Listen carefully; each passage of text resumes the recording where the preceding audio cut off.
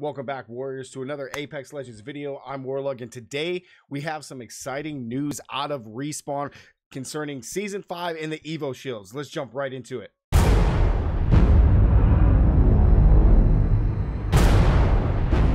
Welcome back, guys. So today, a few hours ago, Jason McCord, the designer on Apex Legends, they released an announcement today talking about Season 5 and the Battle Armor event. This is a new event that they're going to be doing over the course of the next few weeks right before Season 5. So let's just jump right into this. I don't want to like go off anything. This is, I'm just going to pull this up and we're going to break it down. Okay. So as of throughout the last year, we've heard many fun ideas of our fans. Uh, about different ways to play Apex Legends. One of the favorite favorites that have been suggested to them, and even more we introduced was the Evo Shields, which have been phenomenal since they've been uh, you know, put out. I think if you're more of an aggressive player, the Evo Shields is exactly what you need. I like that there's a fifth level, something that's beyond just gold or just, you know, just better than gold. Because once you have gold, it's just kind of like, I'm not dropping it for anything like purple, whatever, doesn't matter.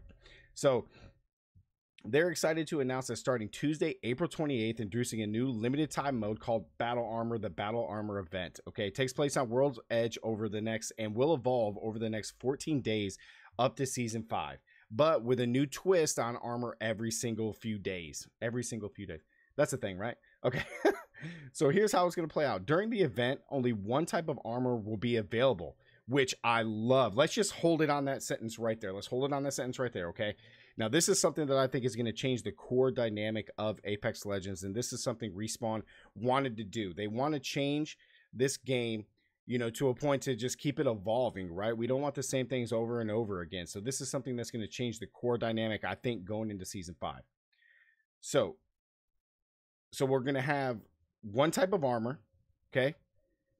One type of armor will be available, okay? The players will drop into the match with it already equipped this is something crazy, okay? On top of that, you're also going to drop in with a P2020, which I find hilarious because now the whole meta, the whole gun dynamic is going to change completely. All armor will be removed from the loot pool, but shield cells and batteries, as well as other sweet, sweet loot, will be available, just not armor. So what this means is, is that for the first few days, because they have a schedule that we're going to go over, is Tuesday, April 28th through 10 a.m. through Saturday, May 2nd, 10 a.m we're going to drop white armor only, which means you're going to drop white armor. There's no way to find any other armor on the map. This is all you're going to get. Saturday, May 2nd through Wednesday, May 6th, you're going to have blue armor. And then Wednesday, May 6th to Saturday, May 9th, level 3 purple armor. And then as it's drawn out, you'll have uh, fights where everyone drops the same or some of the best armor in the game. And then this is the big one Saturday, May 9th through May 12th, when season 5 kicks off, Evo armor only. You're talking about some insane games that are going to happen. You're dropping with everybody dropping with Evo armor, and then like everybody's fighting with red armor. Like it's going to be insane. It's going to be nuts. So, players have been asking that since the introduction of the concept of Evo of Evo armor. So we're particularly excited to see how this unfolds. And if you want a pro tip from me, get in fights earlier. It'll be left limping into the final circle with level 1 armor. We're also turning on double XP for top 5 finishes across all modes during this phase. So this is this is something that is like you know never been done before in Apex. I mean, this is something that we've been talking about before cuz just think about it, right?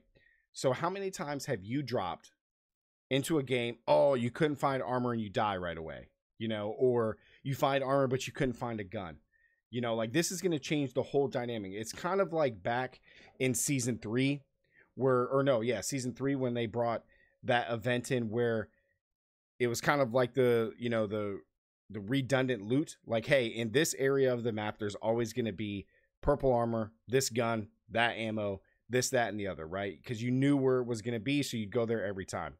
Now, I don't know how much that actually worked to respawn like how much they actually took that data in and were like okay this is something we like. But it does change the dynamic of rng when you know where it takes out the element of like oh crap i couldn't find nothing. I drop here all the time and i just couldn't find anything so now i'm dead i gotta go back in and reload. So i think dropping with a set of armor and a p2020 like it's it's good enough that you're dropping with at least armor so that way if you didn't have a gun you could actually get away and try to find something and fight. But you're dropping with at least a p2020 now hold that with a grain of salt because the p2020 is like not a good gun unless you can get hammer points and it's worse against somebody with armor. Like after you get past armor it's like it's okay. But if they have armor which you're starting off with like i don't think you know, the P2020 is going to be that effective, but we should see. Like, once you do the Evo stuff, like, once you have Evo armor, that's going to matter a lot because it's all about dealing damage. So, uh, the Battle Armor event is just one way we are going to start experimenting with the core gameplay of Apex Legends, and we're excited to introduce even more twists in Season 5 and beyond. Wow, man. I, you know, when I first saw this, and I knew as soon as I got home, I was like, oh, man, I got to make a video about this to update you guys. This is going to change everything we know about Apex Legends. And I think going into season five, there's going to be no more looking back. Okay. Also, the news about season five is they're extending uh, season four by one week to give those players, you know, a chance to grind out the battle pass and get to the next level of ranked if you want before season five kicks off on May 12th. So, you know, if you're behind on your battle pass, you know, you want to get that extra rank, grind it out, do so. You got an extra week, guys. Uh, I know I haven't finished my battle pass, and that's just because I've been lazy about it, but we're gonna get there. Uh, from the entire Apex Legends team here at Respawn, we just want to say thank you for all the love and support you've shown the game. We love to hear your feedback, so please share it with us, and I look forward to seeing you in games. Jason McCord, Design Director. I got to tell you, man, out of all the LTMs, there's only been a few where I've been like excited about. You know, the sniper one was good. Uh, you know, the shotgun one was fine. You know, uh, the duos event by itself was good, and now the battle armor event I think is just going to change the way Apex is played forever. I think even going into season five after they collect all the data, there might be like you always drop a white armor, no gun. Like you always drop a armor no matter what. So there isn't that excuse of like, oh, I just dropped and died because I didn't get armor or a gun. Because if you if you drop with armor, you just got to find a gun. But if you drop with armor, you don't find a gun and somebody gets one, you can at least escape. Like you can at least take some hits and get away before anything happens. So that's the news coming out of Respawn and EA concerning Apex Legends Season 5, guys. I wanted to make this short video. I really do hope it helped. Uh, you know, going, I'm excited for Season 5. Season 4 has just been kind of like blah, you know, for a while now. So I'm excited uh, to see what they do, and I hope that the maps change. But this battle armor event is going to be insane. So I hope this video helped you out, guys. Helped you inform, keep you up to date what's going on. Uh, as a reminder, I do stream every Friday, Saturday, and Sunday on Twitch. The link is going to be down in the description below. If you guys do have any questions about this new news coming out, I'm going to leave the link down in the description. And for me, Warlug, as always, guys, stay gaming. I'll catch you in the next one.